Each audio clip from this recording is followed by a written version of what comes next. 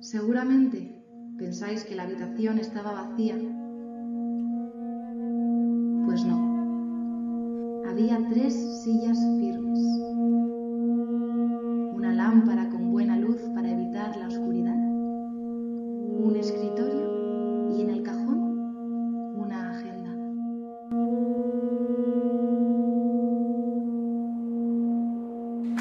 Y me acosté con un mozo hiciste. Dormí con él en la misma ¡Cállate!